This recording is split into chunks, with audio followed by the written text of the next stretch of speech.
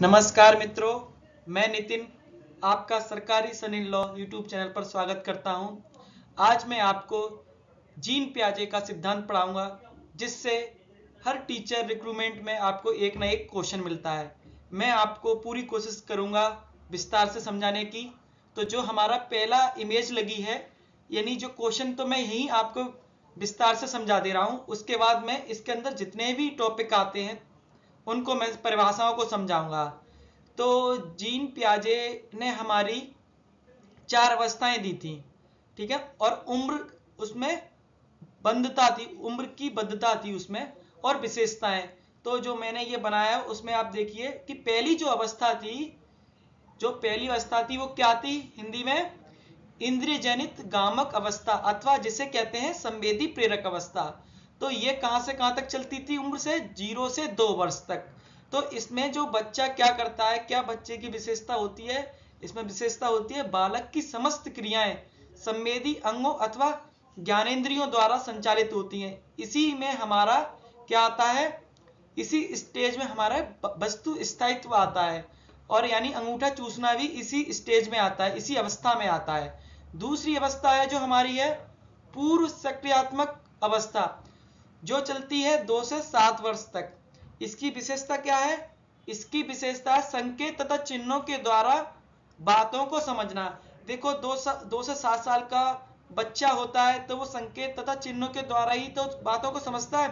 तो इसकी ये चीज़ है। इसमें जो क्वेश्चन बन जाते हैं अधिकतर इसी तरह से बन जाते हैं कि चार अवस्थाओं को क्रम में लगाओ चारों अवस्थाओं के नाम बताओ या उम्र की ये अवस्था का दे देते हैं तो इस इस अवस्था की उम्र सीमा कितनी है? इस तरह से क्वेश्चन बन जाता है। तीसरी जो अवस्था है हमारी, मूर्त सक्रियात्मक अवस्था, वो चलती है हमारी सात से ग्यारह। ठीक है? तो इसमें क्या चीज़ विशेषता है? छात्र में होती है, बच्चे में होती है। वो प्रत्यक्ष वस्तुओं एवं घटनाओं के बारे में सोचना, एवं वस्तुओं को पहचान कर वर्गीकरण करना स्टार्ट कर देता है। कहने का मतलब बच्चा इसमें चीज़ों को विभेद कर लेता है और उनका बांटना स्टार्ट कर देता है। तो अब कोई आपसे ये पूछे कि मूर्त सक्रियात्मक अवस्था की उम्र सीमा क्या है? वो है सात से ग्यारह। उसके बाद जो चौथ, देखो मूर्त सक्रियात्मक अवस्था का दूसरा नाम भी क्या है? दूसरा नाम है अनौपचारिक अवस्था। ठीक है ना? याद कर ले, अनौपचारिक। अनौप, जो इस तरह से भी आ जाता है इसका। अनौपचारिक। और अब हम चलते हैं चौथे पे, जिसका नाम है अमूर्त सक्रियात्मक अवस्था। जो 11 से 15 वर्ष या ये भी आ जाता है लिख के 11 से ऊपर, यानी जो जिससे 11 से ऊपर, वैसे 11 से 15 है और 11 से ऊपर। तो इसकी क्या विशेषता है? इसकी विशेषता है अप्रत्यक्ष वस्तुओं एवं घटनाओं के बारे में तर्क एवं चिंतन करना, समूह में जुड़कर काम करना, आदर्श चिंतन करना। अब फ़र्क क्वेश्चन इस तरह से बनता है कि जो वस्तु हमारे सामने नहीं है और बच्चा तर्क कर रहा है या चिंतन कर रहा है, वो कौन सी अवस्था है? वो हमारी चौथी अवस्था है, अमूर्त सक्रियात्मक अवस्था। मूर्त सक्रियात्मक अवस्था में क्या होता है? मूर्त सक्रियात्मक अवस्था में हमारे चीज़ सामने होनी चाहिए। जो बच्चा होता है, जिसकी उम्र सात से ग्यारह होती है, वो जब तक उसके सामने चीज़ नहीं होगी, वो तर्क और चिंतन नहीं कर पाएगा। तो अब हम विस्तार से पढ़ते हैं, बिल्कुल। प्याजे ने कौन सा सिद्धांत दिया था? प्याजे का संज्ञानात्मक विकास सिद्धांत था। कौन सा था? संज्ञानात्मक विकास सिद्धांत। अब डॉक्टर जीन प्याजे। अठारह सौ छियानवे में इनका जन्म हुआ था और 1980 में इनकी मृत्यु हुई थी। ये एक स्विस मनोवैज्ञानिक थे, ये पूछा गया है, ठीक है ना? तो इस पे मैं अंडरलाइन कर दे रहा हूँ। तो जीन प्याजे कहाँ के थे? ये स्विस मनोवैज्ञानिक थे और मूल रूप से एक प्राणी विज्ञान के विद्वान थे। इन्होंने प्राणियों पे, यानी मनुष्य पे इन्होंने सर्च करी है, खोज करी है। उनके कार्यों ने उन्हें एक मनोवैज्ञानिक के रूप में प्रसिद्धि दिलवाई थी। प्याजे ने फ्रांस के बिनेट के साथ मिलकर, साइमन बिनेट नाम आपने सुना हो, जिन्होंने आईक्यू के बारे में बताया उनके साथ मिलकर कई वर्षों तक कार्य किए। उसके बाद प्याजे ने बुद्धि के विषय में अपना तर्क दिया। सबसे अच्छी बात, प्याजे ने एक क्वेश्चन पूछा जाता है कि प्याजे के ने जो चार ये सिद्धांत दिए, इसमें बच्चा एक भी स्टेप छोड़ नहीं सकता, यानी स्वैप नहीं कर सकता। छात्र को, बच्चे को ये चारों अवस्थाओं से गुजरना पड़ेगा। ठीक है? उन्होंने इससे पूर्व में प्रचलित बुद्धि जन्मजात होती है का खंडन किया। यानी इन्होंने जो जीन प्याजे ने, बहुत मनोवैज्ञानिक ने कहा था कि बुद्धि जन्मजात होती है, उस चीज़ का खंडन किया। ऐसा नहीं है कि जिसके माँ बाप इंटेलिजेंट है बुद्धिमान है, उनका बच्चा जन्मजात से ही बुद्धिमान होगा। इन्होंने उस चीज़ का खंडन किया था। तो फिर उन्होंने आगे बताया जैसे जैसे बालक की आयु बढ़ती है वैसे वैसे उसका कार्य क्षेत्र भी बढ़ता है और बुद्धि का विकास भी संभव होता है। जैसे जैसे हमने देखा है, हमारी उम्र बढ़ती जाती है, हम, हमारा विकास होता जाता है। हमने देखा होगा, पहले हम फ़र्स्ट क्लास में पढ़ते हैं, पहली में, फिर दूसरी में, पहली में हमें ए बी सी डी छोटा, बड़ा, एक, दो, तीन सिखाया जाता है, फिर उसके बाद हम अक्षर जोड़ के पढ़ना सीख जाते हैं। तो समय के साथ साथ हमारा ज्ञान भी बढ़ता है। प्रारंभ में बच्चा केवल सरल संपत्तियों को ही सीखता है और जैसे जैसे उसका अनुभव बढ़ता है, बुद्धि का विकास होता है। आयु बढ़ती है वैसे वैसे जटिल संपत्तियों को भी सीखता है। जैसे जैसे हमारी आयु बढ़ेगी, वैसे ही वैसे हम समस्याओं का समाधान भी करना सीख जाएँगे। ये जीन प्याजे ने कहा था। और उन्होंने क्या कहा था? वातावरण एवं क्रियाओं का योगदान सीखने अधिगम में महत्वपूर्ण होता है। प्याजे यह भी कहते हैं कि सीखना कोई यांत्रिक क्रिया नहीं है। यानी किसने कहा है कि सीखना कोई यांत्रिक क्रिया नहीं है, ये क्वेश्चन बनेगा। ये क्या है? जीन प्याजे ने बल्कि ये थोड़ा छोटा डंडा लग गया है, इसे टाइपिंग में गलती हो गई है। बल्कि यह एक बौद्धिक प्रक्रिया होती है। तो जो सीखना क्या होती है? ये एक बौद्धिक प्रक्रिया होती है। सीखना एक संपत्ति निर्माण करना होता है और निर्माण करने की यह प्रक्रिया सरल से कठिन की ओर चलती है। पूछा जाएगा कि बच्चे का जो विकास है, सीखना कैसे चलता है? वो चलता है सरल से कठिन की ओर। पहले वो सरल चीज़ें सीखता है, फिर वो धीरे धीरे कठिन की ओर। हम क्लास में बच्चों को अगर कुछ वन टू थ्री जब एक, दो, तीन सिखाते हैं, उसके बाद प्लस सिखाते हैं, फिर माइनस फिर उसके बाद मल्टीप्लाई फिर डिवाइड सिखाते हैं। डायरेक्ट डिवाइड नहीं सिखाते हैं, भाग सीधे नहीं सिखाते हैं। पहले जोड़ से स्टार्ट करते हैं, पहले गिनती, फिर जोड़ उसके बाद धीरे धीरे हम आगे की अवस्थाएँ उसे सिखाते रहते हैं। पहले जब बालक का अनुभव होता है, उसकी आयु भी कम होती है तो वह सरल अवधारणाओं या संपत्तियों को भी सीखता है। ये चीज़ पे अंडरलाइन कर रहा हूँ। अवधारणाएँ संपत्तियों को सीखता है वो सरल से। और जैसे जैसे बालक की आयु बढ़ती है तो उसका अनुभव भी बढ़ता है और वह अपनी बुद्धि से जटिल संपत्तियों का निर्माण करता है। यानी, क्या छात्र जटिल संपत्तियों का निर्माण कर सकता है? हाँ कर सकता है। समय के जैसे जैसे उसकी आयु बढ़ेगी, वो उसके अनुभव के अनुसार। बालक की सत्य के बारे में चिंतन करने की शक्ति परिपक्वता स्तर और अनुभवों की अंत्यक्रिया पर निर्भर करती है तथा निर्धारित होता है। इसलिए मनोवैज्ञानिक ने इसे अंत्यक्रियावादी विचारधारा का नाम भी दिया था। जो जीन प्याजे मनोवैज्ञानिक थे, उन्होंने ही अंत क्रियावादी विचारधारा का नाम दिया था। पूछा जाता है, ये क्वेश्चन बनता है कि अंत क्रियावादी विचारधारा का नाम किसने दिया? तो जो हमारे मनोवैज्ञानिक जी थे, जीन प्याजे, स्विस के थे, उन्होंने कहा है ये। और कुछ मनोवैज्ञानिक ने इसे संप्रदाय निर्माण का भी सिद्धांत भी कहा है। कुछ जो मनोवैज्ञानिक थे, इनके अलावा भी उन्होंने इसे क्या कहा है? संप्रदाय निर्माण का सिद्धांत भी कहा है। अब संज्ञानात्मक विकास सिद्धांत के पद। प्याजे ने कई सारे पद दिए थे, इसमें कई अवस्थाएँ दी थी, उनको हम विस्तार से पढ़ते हैं। अपने संज्ञानात्मक विकास के सिद्धांत में प्याजे दो पदों का उपयोग करते हैं। संगठन और अनुकूलन। हालाँकि इन पदों के अलावा भी प्याजे ने कुछ कुछ अन्य पदों पर पर भी अपनी व्याख्या दी है या संज्ञानात्मक विकास के बारे में इन्होंने कहा है। तो हम पहला जो पद है, उसके बारे में पढ़ेंगे, वो है अनुकूलन, जिसे एडेप्टेशन कहते हैं। तो अनुकूलन पे इन्होंने क्या कहा था? प्याजे के अनुसार बच्चों में अपने वातावरण के साथ समायोजन की प्रवृत्ति जन्मजात होती है। हमने देखा है जिस वातावरण में हम रहते हैं, उसी के अनुसार हम ढल जाते हैं, उसी के अनुसार छात्र भी ढल जाता है। बच्चे की इस प्रवृत्ति को अनुकूलन कहा जाता है। जैसे कि एक एग्ज़ाम्पल दे रहा हूँ मैं आपको, जैसे कि एक छात्र है, घर में आपने चावल जो उसे कड़ी भात कहा जाता है, चावल और कड़ी खाता है हाथ से। तो अगर वो जैसे समाज में उस वातावरण में रहता है, सब हाथ से खाते हैं तो वो हाथ से ही खाएगा मिला के। मगर और जब दूसरे समाज में जाएगा, वहाँ अगर चम्मच से खा रहे हैं तो वहाँ चम्मच से खाना सीख जाएगा। इसे उसने क्या कर लिया? समायोजन कर लिया। अनुकूल उस वातावरण में वो ढल गया। तो आगे क्या कहा है प्याजे ने? प्याजे के अनुसार बालक आने वाले प्रारंभिक जीवन से ही अनुकरण करने लगता है। जैसे ही बालक स्टार्टिंग करता है, अपने घर में ही देखो। जैसे घर में सारे बात करते हैं, अगर हिंदी में बातें कर रहे हैं घर में तो जो छात्र या बच्चा होगा, वो हिंदी में ही बात करेगा, इंग्लिश में नहीं करेगा। अगर उस उसकी फैमिली में घर में इंग्लिश में बात हो रही है तो वो इंग्लिश में ही बातें करने लगेगा। तो वो बचपन से ही अनुकूल चीज़ों को सीखने लगता है। जब कोई बच्चा वातावरण में किसी उद्दीपक परिस्थितियों के सामने सामने होता है, उस समय उसकी विभिन्न मानसिक क्रियाएँ अलग अलग कार्य ना करके एक साथ संगठित होकर कार्य करती हैं। कार्य। यानी इस लाइन का मतलब हुआ कि जब बात, यानी कहीं कुछ काम हो रहा है तो वो उसी चीज़ पर एक तरह से अपने आप को वहीं संगठित कर लेता है, यानी उसी चीज़ को सीखने का प्रयत्न करता है और ज्ञान अर्जित करता है। यह क्रिया हमेशा मानसिक स्तर पर चलती है। यानी जब भी हम कोई नई चीज़ सीखते हैं तो हमेशा वो मानसिक स्तर पर ही हम उसे सीखते हैं। उसके बाद हम फ़िज़िकल काम उसे करना स्टार्ट करते हैं।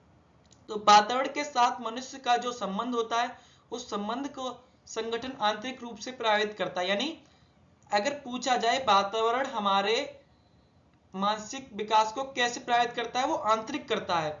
यानी, हमारे लिए वातावरण का बहुत ही महत्वपूर्ण है। छात्र या बच्चे के लिए जैसा वातावरण होगा, वैसा ही उसका आंतरिक विकास भी होगा।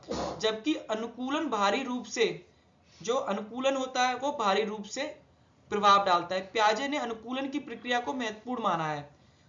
जीन प्याजे जी ने अनुकूलन की प्रक्रिया को बहुत महत्वपूर्ण माना, तथा इसके बारे में भी उन्होंने दो भागों में बांटा है। तो उन्होंने दो उप भागों में बांटा, यानी आत्म सातकरण जिसे एसिमिलेशन कहते हैं, एक समंजन, जिसे एकोमोडेशन कहते हैं, या हिंदी में दूसरा नाम है समायोजन। क्या नाम है दूसरा? समायोजन।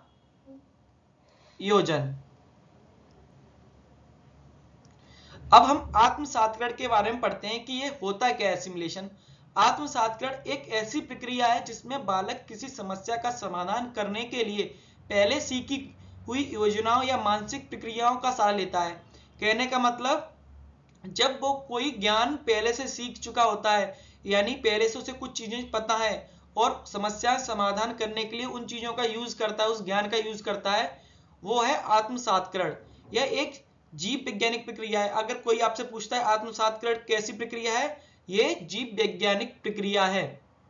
आत्मसातकरण को हम इस उदाहरण के माध्यम से भी समझ सकते हैं कि जब हम भोजन करते हैं तो मूल रूप से भोजन हमारे भीतर नहीं रह पाता है, बल्कि भोजन से बना हुआ रक्त हमारी मांसपेशियों में इस प्रकार समा जाता है कि जिससे हमारी मांसपेशियों की संरचना का आकार बदल जाता है।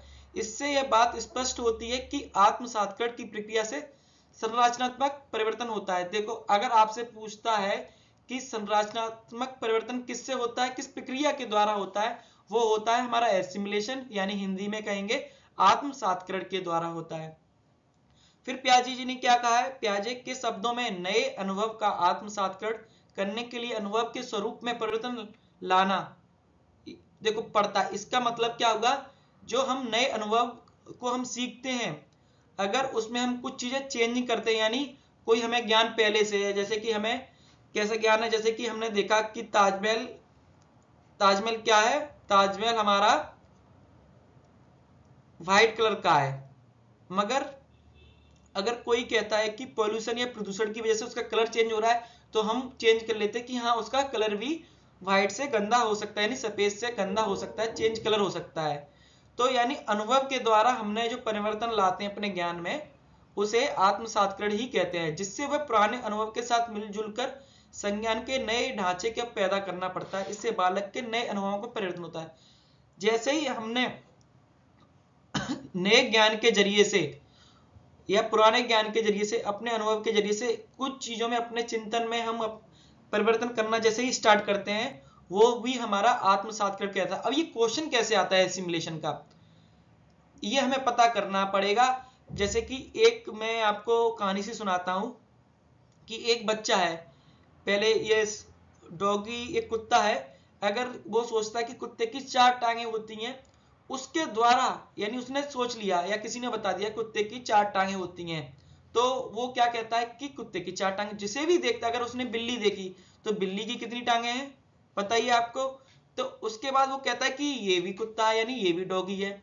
तो इस तरह से वो हो गया हमारा एसिमुलेशन यानी आत्मसातकरण। यानी उसने ज्ञान के ज़रिए से केवल बस ये पता कर लिया कि चार जो जिसमें जिसकी चार टांगे होती हैं, वो वो हमारा डॉगी होता है, यानी कुत्ता होता है। उसके बाद हम चलते हैं दूसरे पे, समायोजन या जिसे एकोमोडेशन कहते हैं। यानी इसे मैं आपको एसिमुलेशन को ऐसे भी समझा देता हूँ।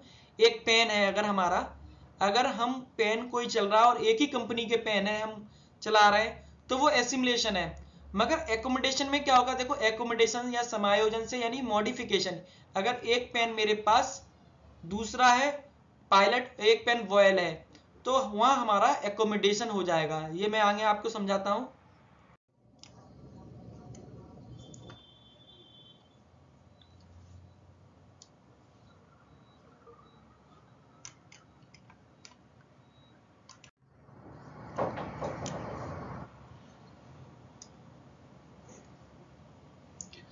इसके बाद हम संज्ञानात्मक संरचना, जिसे कॉग्नेटिव स्ट्रक्चर कहते हैं, उसके बारे में पढ़ते हैं। प्याजे के अनुसार संज्ञानात्मक संरचना से तात्पर्य बालक का मानसिक संगठन से है। क्या है प्याजे के अनुसार संज्ञानात्मक संरचना से तात्पर्य बालक के किससे है? मानसिक संगठन से। अर्थात बुद्धि में संलप्ति विभिन्न क्रियाएँ जैसे प्रत्यक्षीकरण स्मृति, चिंतन तथा तर्क इत्यादि, ये सभी संगठित होकर कार्य करते हैं। देखो, बुद्धि में जो भी हम जो क्रियाएँ करते हैं, उसमें स्मृति भी होती है, हमारी यादें भी होती है, चिंतन भी होता है, तर्क भी होता है, ये सारे मिलके हम काम करते हैं। वातावरण के साथ समायोजन। इसे थोड़ा समा, अगर हिंदी में टाइपिंग गलत हो जाए तो कोई नहीं, आपको समझ में आना चाहिए। वातावरण के साथ समायोजन संगठन का ही परिणाम है, क्योंकि मैं खुद टाइपिंग करता हूँ तो हो जाती है दो गलती। अब पूछा जाता है कि मेंटल ऑपरेशन क्या होता है मानसिक सक्रियाएँ किसे कहते हैं? बालक द्वारा समस्या समाधान के लिए किए जाने वाले चिंतन को ही मानसिक क्रिया कहते हैं। देखो कितना अच्छा है। बालक द्वारा पूछ, ये क्वेश्चन यहाँ से बनते हैं। बालक द्वारा समस्या समाधान के लिए किए जाने वाले चिंतन को ही हम मानसिक सक्रिया कहते हैं। स्कीम्स क्या होती हैं? स्कीम्स यह बालक द्वारा समस्या समाधान के लिए किए गए चिंतन अव्यक्त अभिव्यक्त रूप होता है। अर्थात मानसिक सक्रियाओं का अव्यक्त रूप ही स्कीम्स है। यानी किसी काम करने के लिए जो हमारे पास तथ्य होते हैं, उनको कहते हैं हम स्कीम्स और स्कीमा ये तो कई बार पूछा गया स्कीमा किसे कहते हैं? स्कीमा होता है एक ऐसी मानसिक संरचना जिसका सामान्यकरण किया जा सके। यानी जिसका, यानी दूसरी भाषा में से ये भी कह सकते हैं, सूचनाओं सूचनाओं का भंडार। सूचनाओं का भंडार। उसे भी हम कहते हैं स्कीमा। सूचनाओं के भंडार को भी हम क्या कहते हैं? स्कीमा। इसके बाद हम संज्ञानात्मक विकास की अवस्थाएँ, जिससे में से कोई ना कोई एक क्वेश्चन ज़रूर पूछा जाता है। प्याजे के अनुसार जैसे जैसे संज्ञानात्मक विकास बढ़ता है, वैसे वैसे अवस्थाएँ भी परिवर्तित होती रहती हैं। किसी विशेष अवस्था में बालक के समस्त ज्ञान, विचारों, व्यवहारों के संगठन से एक सेट यानी समुच्चय तैयार होता है, जिसे प्याजे स्कीमा कहते हैं। देखो, किसी विशेष अवस्था में बालक के समस्त ज्ञान, विचार व्यवहारों के संगठन को एक सेट यानी समुच्चय तैयार होता है, जिसे प्याजे स्कीमा कहते हैं। सेट को, यानी क्या कहते हैं? सेट ऑफ़ समुच्चय को क्या कहते हैं हम? स्कीमा इन, मैं जिन चीज़ों को रिपीट कर रहा हूँ, समझ लो, वहीं से ज़्यादा क्वेश्चन पूछे जाते हैं। हमने सिद्धांत तो पढ़ने ही पढ़ने हैं, सिद्धांत के ज़रिए से क्वेश्चन कहाँ से आते हैं, वो हमें पता होना चाहिए। इन स्कीमाओं का विकास बालक के अनुभव व परिपक्वता पर निर्भर करता है। बालक के संज्ञानात्मक विकास की चार अवस्थाएँ।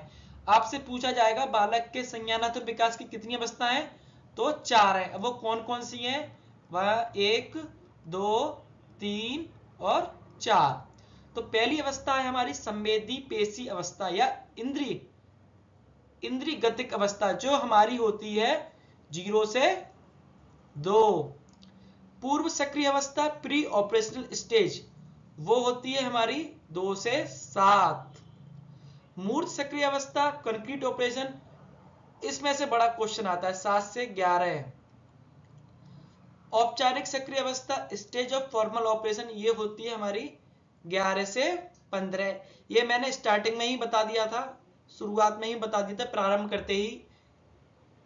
अब इनके बारे में हम विस्तार से जानेंगे। संवेदी पेशी अवस्था या इंद्रिय गतिक अवस्था। यह संज्ञानात्मक विकास की प्रथम अवस्था होती है। यह अवस्था जन्म से लेकर दो वर्ष तक अवस्था चलती है। जन्म के समय बालक केवल सरल क्रिया ही करता है। बच्चा इस अवस्था में ज्ञानेन्द्रियों की सहायता से। देखो, ज़ीरो से दो का बच्चा ज्ञानेन्द्रियों की सहायता से ही वस्तु ध्वनि, रसों व गंध आदि का अनुभव करता है। ज़ीरो से, यानी शून्य से दो साल का बच्चा कितने, कितना जानेगा, ये आपको पता ही है। इस सरल क्रियाओं को ही प्याजे सहज स्कीमा कहते हैं। इन्हीं अनुभूतियों की पुनरावृत्ति के कारण बच्चा संज्ञानात्मक, आत्मसात, न व समायोजन की प्रक्रिया शुरू करता है। यानी आत्मसात, यहीं से जो बच्चा है, हमारा आत्मसात व समायोजन की प्रक्रिया शुरू कर देता है। जब उस परिवेश में उपस्थित उद्दीपकों को पता चलता है तो बच्चा अपनी इंद्रियों द्वारा इनका प्राथमिक अनुभव करता है। प्याजे ने अपनी इस अवस्थाओं को छह उप अवस्थाओं में विभाजित किया था। यानी जो संवेदी पेशी अवस्था या इंद्रिय गतिक अवस्था थी, उसको भी प्याजे जी ने छह उप अवस्थाओं में विभाजित किया था। अब जो हमारी दूसरी अवस्था आती है वो आती है पूर्व सक्रियात्मक अवस्था, जिसे कहते हैं प्री ऑपरेशनल स्टेज ये सिद्धांत खत्म होने जाने के बाद सारे सिद्धांत, में तीस सिद्धांत आपको करवाऊँगा, उसके बाद मैं आपको क्विज कराया करूँगा डेली तीस तीस क्वेश्चन प्याजे के संज्ञानात्मक विकास के द्वितीय अवस्था पूर्व सक्रिय अवस्था है, जिसे वह बच्चे दो वर्ष से सात वर्ष की अवस्था तक मानता है। इस अवस्था में दो उप अवस्थाओं में विभाजित है, यानी जो पूर्व अवस्था भी है ना, वो हमारी दो उप उप अवस्था में भेजते हैं। तो इस अवस्था में बच्चों में निम्न प्रकार की विशेषताएँ पाई जाती हैं। क्या क्या विशेषताएँ होती हैं? पहली विशेषता है बच्चा अपने आसपास की वस्तुओं और प्राणियों व शब्दों में संबंध स्थापित करना सीखता है। मैं आपको बताना भूल गया, जो पहली अवस्था आती हमारी, संवेदी अवस्था, उसमें वस्तु स्थायित्व बच्चा ग्रहण कर लेता है। क्या कर लेता है उसमें? वस्तु वस्तु स्थायित्व होता क्या है? यानी हम जो जो जो शून्य से दो साल का बच्चा छाप, दिमाग में उसके छाप प्रिंट छपने लगते हैं, यानी अगर उस, आपने कोई खिलौना दिया है, अगर आप उसे छिपा देते हो तो वो ढूँढने लगता है, अगर आपने बेड के नीचे छिपा दिया कहीं तो उसे वो ढूँढने लगता है। इसे, हम वस्तु स्थायित्व कहते हैं, ये पाँच बार क्वेश्चन आ चुका है कि वस्तु स्थायित्व अवस्था किस, वस्तु स्थायित्व, ये किस अवस्था में होता है? ये हमारी प्रथम अवस्था में होता है प्याजे की में। अब दूसरा, बच्चे प्राय खेल व अनुकरण द्वारा सीखते हैं। यानी बच्चे जो दो से सात साल के होते हैं, वो अनुकरण, यानी नकल करके सीखते हैं। प्याजे कहते हैं कि इस अवस्था में चार वर्ष के बच्चे निर्जीव वस्तुओं को, सजीव वस्तुओं के रूप में समझते हैं। ये बहुत ही बार पूछा गया है। अब इसमें पूछा कैसे जाता है? पहले तो जो बच्चा निर्जीव वस्तुओं को, सजीव वस्तु समझता है, वो कौन सी अवस्था होती है? वो पूर्व सक्रिय अवस्था होती है प्री ऑपरेशनल स्टेज अब इसको कहते हैं क्या है? जब बच्चा निर्जीव वस्तुओं को सजीव वस्तु समझता है इसे कहते हैं जीव बाद क्या कहते हैं? जीव बाद इंग्लिश में कहते हैं एनिज्म ये चीज़। अब आगे। बच्चे आने आने बच्चे विचार को ही ये काट देते हैं एक्स्ट्रा लिख गया है। बच्चे अपने विचार ये यहाँ ये अपने हैं। ये आ, अपने विचार को सही मानते हैं यानी एक और आपसे पूछा जाएगा कि ईगो सेंट्रिज्म किस अवस्था में प्याजे की में पाया जाता है? वो हमारा पूर्व सक्रियात्मक अवस्था पाया जाता है। जिसे मैं लिख रहा हूँ अंडरलाइन कर रहा हूँ, इस क्वेश्चन को बार बार देखें। बच्चे समझते कि सारी दुनिया उन्हीं के इर्द गिर्द है। आपने देखा है, दो दो से सात साल का बच्चा, अगर वो कहता है कि नहीं नहीं नहीं, मैं ही हूँ, सारी चीज़ें, अपने आप को ताकत अगर मानता है, कभी सुपरमैन मानेगा, कभी तो यानी ईगो होता है। अगर वो कह रहा है तो मैं ही सही हूँ। इससे प्याजे ने आत्म केंद्रित इससे प्याजे ने क्या कहा आत्म केंद्रित या आत्म केंद्रितता का नाम दिया है। अब नेक्स्ट पॉइंट बच्चे भाषा सीखने लगते हैं। बच्चे चिंतन करना भी शुरू कर देते हैं। छह वर्ष तक आते आते बच्चा मूर्ति प्रत्ययों के साथ अमूर्त प्रत्ययों का भी निर्माण करने लगते हैं। वे रटना शुरू कर देते देखो, दो से सात साल का बच्चा रटना शुरू करता है। अर्थात वह रटकर सीखने, सीखते हैं ना कि समझकर। दो से सात साल के बच्चे में, यानी पूर्व सक्रिय अवस्था में बच्चा समझकर नहीं सीखता है। ये पूछा जाता है, बच्चा स्वार्थी नहीं होता है इस अवस्था में? यानी बच्चा स्वार्थी किस अवस्था में नहीं होता है? पूर्व सक्रिय अवस्था में नहीं होता है। धीरे धीरे वह प्रतीकों को ग्रहण करना सीखता है। इस अवस्था में बालक कार्य और कारण के संबंध से अनजान होते हैं। मानसिक रूप से अभी परिपक्व होने के कारण वे समस्या समाधान के दौरान, समस्या को केवल एक ही पक्ष को जान पाते हैं। यानी उनको समस्या का केवल एक ही पक्ष दिखाई देता है, दूसरा नहीं दिखाई जाता। अच्छा जीन प्याजे की एक चीज़ और मैं बताऊँ। जीन प्याजे ने ही कहा था, पहले हमारा विचार आता है।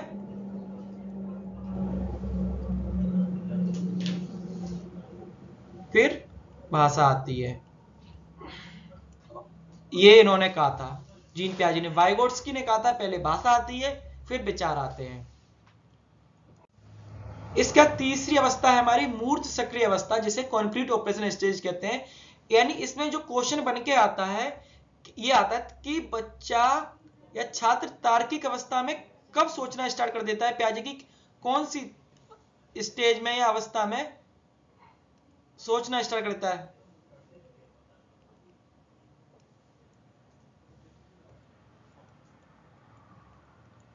तार्किक अवस्था से सोचना। ये कौन सी अवस्था है?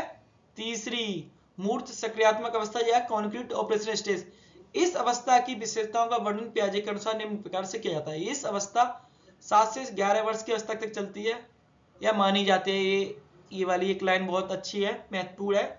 अधिक व्यवहारिक व यथार्थवादी होते हैं। तीसरी अवस्था में बच्चे या बालक व्यवहारिक व यथार्थवादी होता है। तर्क शक्ति की क्षमता का विकास होना प्रारंभ, यानी जो तीसरी अवस्था में, मूर्त सक्रिय अवस्था में तर्क शक्ति का विकास होना स्टार्ट हो जाता है बालक में। अमूर्त अमूर्त समस्याओं का समाधान वे अभी भी ढूंढ पाते हैं। यानी इसी अवस्था में अमूर्त समस्याओं का समाधान भी ढूंढ लेते हैं।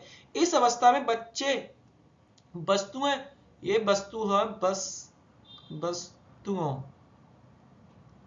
वस्तुओं को उनके गुणों के आधार पर पहचानना शुरू कर देते हैं। यानी यानी जो मूर्त या कंक्रीट ऑपरेशन स्टेज होती है, इसी में बच्चे किस तरह से पहचानना शुरू कर देते हैं? आधार, यानी उनके गुणों के आधार पर। चिंतन में क्रमबद्धता का अभाव अभी भी होता है।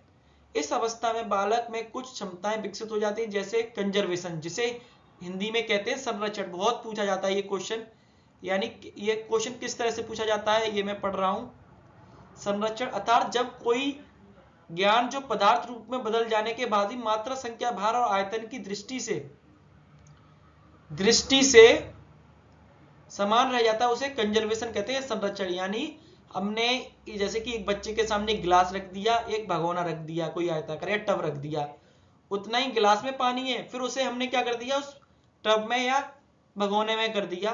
तो बच्चा कहेगा, नहीं, पानी किसमें ज़्यादा था? गिलास में, जबकि पानी उतना ही। यानी आयतन वगैरह ये चीज़ें, वो हमारी आ जाती है कंक्रीट ऑपरेशन अवस्था में। संख्या बोध अर्थात गणित को जानना, व वस्तुओं को गिनना शुरू कर देते हैं। यानी इसी अवस्था में छात्र या बालक संख्या बोध अर्थात गणित को जानना स्टार्ट कर देता है। इसमें केवल ये चीज़ जान पाता है बालक कंक्रीट टू प्लस थ्री यानी दो प्लस तीन कितने होते हैं? पाँच। अगर उससे ये पूछा जाएगा कि किस तरह से होते हैं, वो इस अवस्था में नहीं बता पाएगा। आंसर बता देगा। इसके अलावा क्रमानुसार अवस्था, वर्गीकरण वर्गीकरण करना और पारस्परिक संबंधों आदि को जानने लगते हैं। अब हम चलते हैं चौथी अवस्था पे, जो मैं इसके क्वेश्चन लाऊँगा। पहले से उसमें सारे क्वेश्चन होंगे कि किस तरह से आते हैं, वो मैं बताऊँगा आपको। चौथी अवस्था, औपचारिक सक्रिय की अवस्था स्टेज ऑफ़ फॉर्मल ऑपरेशन प्याजे के अनुसार संज्ञानात्मक विकास की चतुर्थ व अंतिम विशेषताएँ निम्न प्रकार है। बच्चा विसंगतियों को समझने की क्षमता रखता है इसमें, जो चौथी अवस्था में, जो कहाँ से कितनी तक होती है? ग्यारह से पंद्रह या ग्यारह से एव, जिसे कहते हैं। बच्चे में वास्तविक अनुभवों को काल्पनिक रूप या परिस्थितियों में प्रक्षेपित करने की क्षमता आ जाती है, यानी वो कल्पना करके सोचने लगता है। बच्चा घटनाओं की परिकल्पना बनाने लगता है और इन्हें सत्यापित करने का भी प्रयास करता है। बच्चे इस अवस्था में विचारों को संगठित करना और वर्गीकृत करना सीख जाता है, यानी इसमें विचारों को संगठित भी कर लेगा और वर्गीकृत भी कर लेगा। बच्चे प्रतीकों का अर्थ भी समझना शुरू कर देते अर्थों का समझना किस अवस्था में स्टार्ट करता है? औपचारिक में। यह अवस्था 12 वर्ष से वयस्क होने तक चलती है। यह अवस्था संज्ञानात्मक विकास की अंतिम अंतिम। अंतिम अवस्था होती है। देखो, पूछा जाता है कि जो संज्ञानात्मक विकास की अंतिम अवस्था कौन सी है, वो है हमारी औपचारिक सक्रिय की अवस्था। आयु बढ़ने के साथ साथ बच्चों के अनुभव बढ़ने लगते हैं। पता ही है ये चीज़ें।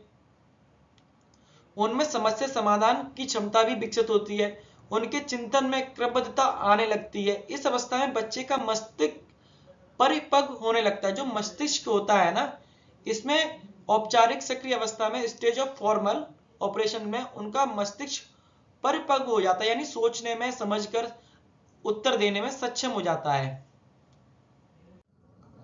अब डेवलपमेंट कुछ चीज़ें हैं, उनको मैं और यहाँ बता रहा हूँ। प्याजे ने आने सिद्धांत अपने, प्याजे ने अपने सिद्धांत का प्रयोग शिक्षा के क्षेत्र में करते हुए अनुकरण व खेल की क्रिया को महत्व दिया है। शिक्षकों को अनुकरण व खेल विधि से शिक्षक कार्य करना चाहिए। प्याजे ने यही चीज़ कही है, शिक्षकों को अनुकरण यानी नकल और खेल विधि से शिक्षक करना चाहिए, यानी खेल खिला के बच्चों को सिखाना चाहिए।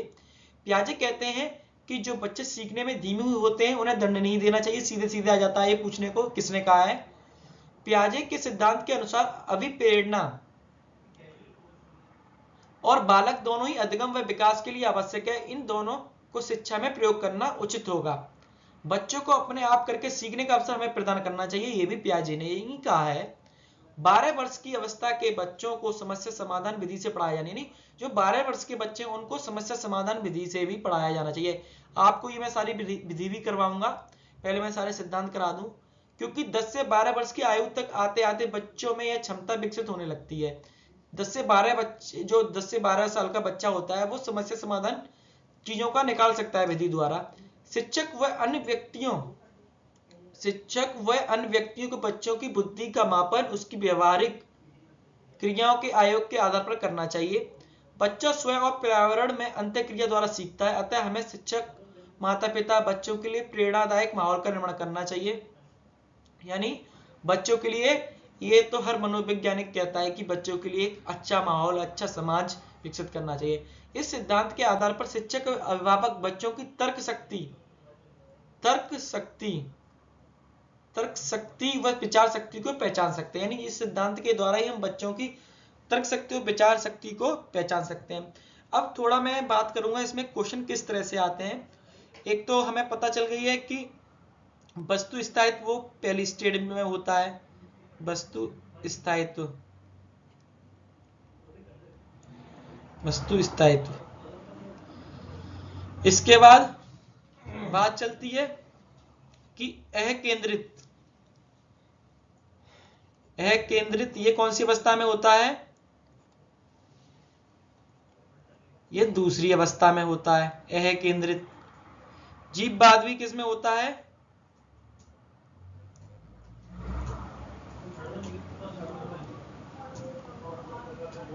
दूसरी में। ठीक है? जीव बाद भी होता है किसमें? केंद्रीकरण किसमें होता है? ये क्वेश्चन आते हैं कि बच्चा एक ही तरह से सोच पाए, केंद्रीकरण एक ही चीज़ पे, वो भी दूसरे में ही होता है। ये चीज़ आपको समझ में आ रही है ना? जीव बात केंद्रीकरण केंद्रित और पलटा भी। यानी रिवर्स यानी जैसे जो बच्चा अगर चीज़ों को इधर से उधर समझ ना पाए। ये भी कौन सी अवस्था में होती है? दूसरे में। इस तरह से जो हमारे क्वेश्चन आते हैं, एक और क्वेश्चन आता है कि आगमन विधि किस अवस्था में होती है?